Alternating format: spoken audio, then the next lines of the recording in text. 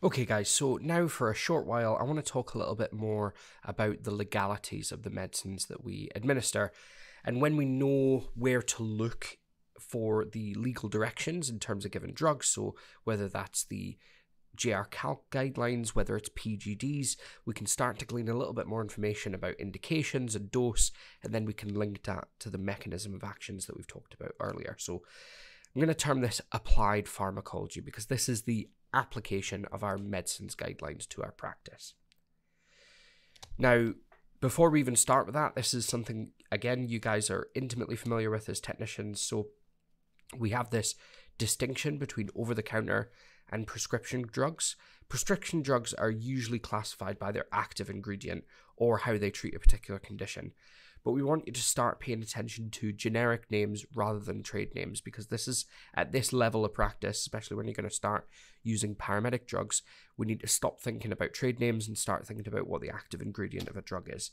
So, for example, I've got a couple of pictures here. Chlorpromazine is labeled uh, Lar- Largactil in some areas.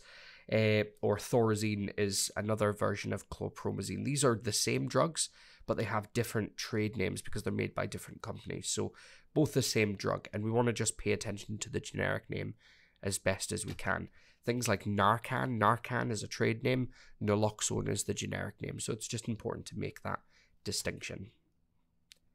Again, it'll be obvious on packets. This applies to over the counter medications a lot more than prescription drugs, but again, lots of prescription drugs also have brand names, and patients will likely know their medications by their brand name rather than by their generic.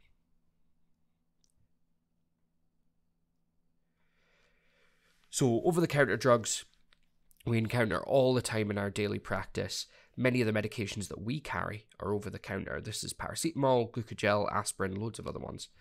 Now, whether a drug is over the counter or prescription doesn't really matter to us massively uh, because we can't just give out over the counter drugs either.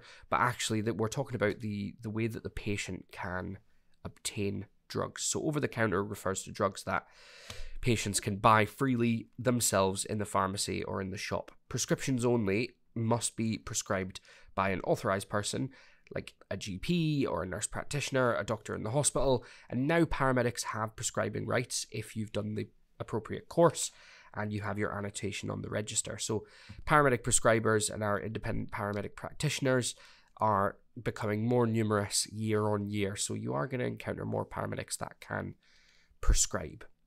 But what we do when we give a drug is technically prescribing in itself. So, we're prescribing, administering, and supplying the drug all in one transaction.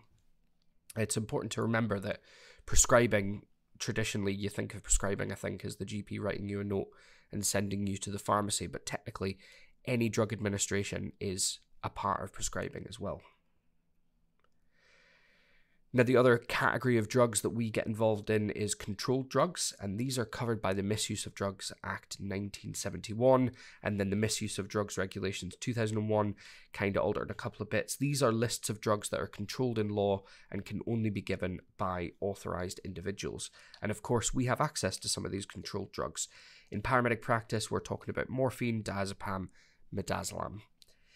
The Act regulates everything to do with these drugs the way that they're manufactured, they're supplied, they're administered, and they're prescribed. So, as healthcare professionals who are involved in the supply and administration of these drugs directly, we need to be familiar with these bits of legislation. Now, they're large bits of legislation, they are distilled in the HCPC guidance, and I'll link to the HCPC guidance in a moment. So, go there first if you want to read the acts in full. It's not a bad idea, it's good to be familiar with the laws that underpin our practice. So, the main distinction then for us when it, we talk about giving drugs is this JR Calc versus PGD or exemption versus PGD principle. Now, most medicines given by pre hospital practitioners in the UK come under these categories. So, we have exemption medicines, and these are given because of the Human Medicines Act 2012. Now, I'm actually going to show you the Human Medicines Act 2012, or I'm going to show you the. So you should be able to see this on the screen here. So This is the an overview of the Human Medicines Act 2012, and it talks about the exceptions to rules on selling, supplying, or administering medicines for some groups of healthcare professionals.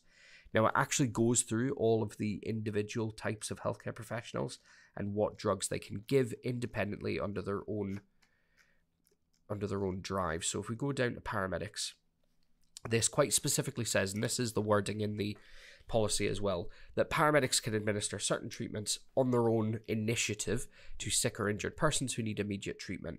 And these are the drugs listed here. Now, as a registered paramedic, you can keep stocks of these and you can administer P medicines, pharmacy medicines as part of your practice. Now, we don't need to worry about that because obviously the ambulance service provides our medicines for us. But this is pretty much where JR Calc draws its medicines list from but you'll notice that certain things are not included in this list. So, controlled drugs like morphine are in here, naloxone, ondansetron, sodium chloride, Syntometrine, tenecteplase, amiodarone. These are all included in here. But there are some drugs that we can use in the Scottish Ambulance Service that don't fall into this. So, where are we going to find those? Well, these are given to us via PGD, which is Patient Group Direction. Now, this is a specific document that's signed and authorized by the medical director, and the medical director essentially devolves his responsibility to all of the Scottish Ambulance Service paramedics in order to allow us to give a drug for a specific purpose. Now, the difference here, the legal difference, is that exemption medicines are governed under the Human Medicines Act 2012, but it isn't prescriptive as to when the medicines are used or in what dose. So we need to look at the JR Calc guidelines to guide us on how to use the medicines. If we use the medicines in other ways than are specified in JR Calc, then obviously we would need to defend that in court if required, and we'd need to have a good justification for using them out with our guidelines. But that is an option for registered paramedics. Again, with everything, if you can justify your actions, then as long as you can justify and your patient is safe, then that's going to be a, a, fair course of action. With patient group directions, this doesn't apply. You need to give a drug exactly as it is specified in the patient group direction. Otherwise, you have no legal authority to give that drug because it is a form of prescription, supply, and administration. So that's the difference.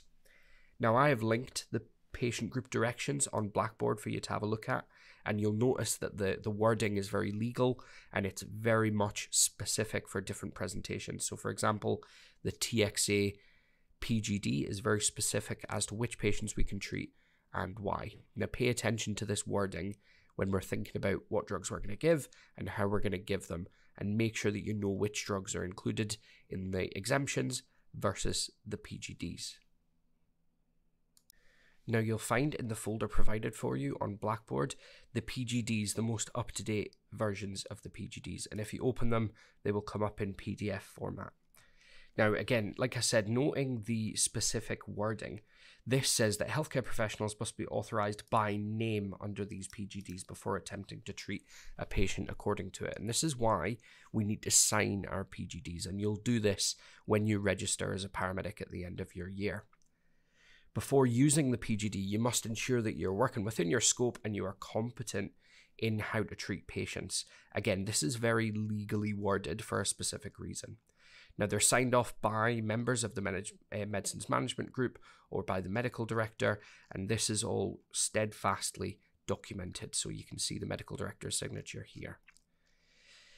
Again, we're talking about registered healthcare professionals, particularly this is the TXA PGD. So you can see that any registered healthcare professional who has signed this PGD can administer the drug. So we're not just talking about paramedics. If we have nurses working within the organization or other healthcare professionals, they can sign this PGD and use this drug for these purposes as well. Now it'll specifically say criteria for inclusion, which it does here. So for TXA, for example, this is used in patients who have sustained trauma who fulfills any of the criteria, and we're talking about signs of external hemorrhage where advanced hemorrhage control has been used, pregnant women who have been, been involved in traumatic injury, or patients in traumatic cardiac arrest. There is then a lot of breakdown of what patients fall into the inclusion criteria and what patients must be excluded. Now, I'm going to leave you guys to read this yourselves, but I think it's quite obvious that the guidelines are very specific compared to JRCalc, which just gives you general guidelines as to when drugs could be used. So I'll let you guys have a look at that in your own time.